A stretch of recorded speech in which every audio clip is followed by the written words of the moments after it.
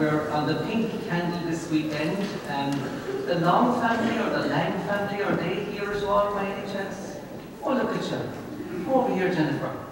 This is uh, the, the Long, Michael and Jennifer Long. I, did I do your wedding? I did your wedding. Come on up here. And um, I, let, I asked them to put a little straw out here and they put it on the other side.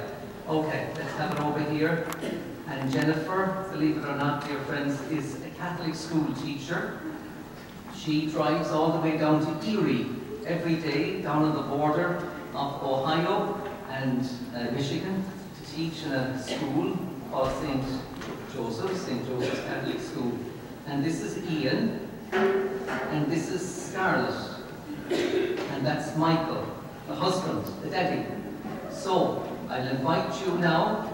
Do you want to do it? Does Scarlett want to do it? Or Ian, the youngest? Okay, like that little pink candle for us there now. As a family, a lovely family in our parish. The very first person, dear friends, that I anointed when I came to America, the very first person who needed the last rites was Jennifer's grandmother. It was a, a snowy night over in Southgate. I just don't know how I found the house. There was an angel flying ahead of the car, and I found uh, Geraldine Blair's house. So thank you so much. You're very good, and I wish you well, Michael and Jennifer and the children. Uh, don't you? Come on up, you better go. You better go. good boy. Thank you for all your help. Maybe we should give them a little clap.